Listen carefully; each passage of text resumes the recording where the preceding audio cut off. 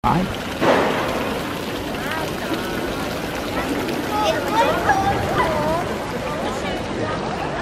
Poco lontano dalla Rambla si aprono delle piazze più belle di Barcellona, caffè e bar con tavolini all'aperto, palme, una fontana con elegante, un paio di lampioni e partita un giovane giardino.